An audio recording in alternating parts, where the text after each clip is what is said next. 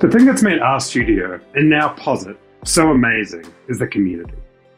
We love and value our open source community, and we're so appreciative of everyone who has helped make Posit what it is today. And our community is you. You live and work on every continent. And one of the most used data sets for teaching is even from Antarctica. You use R for school or work or fun, answering questions that are important to you. You work on projects in education, science, marketing, public health, government, economics, finance, libraries, astronomy, and so, so much more. You create and share thousands of resources to help others. You contribute to code and documentation on hundreds of open source projects.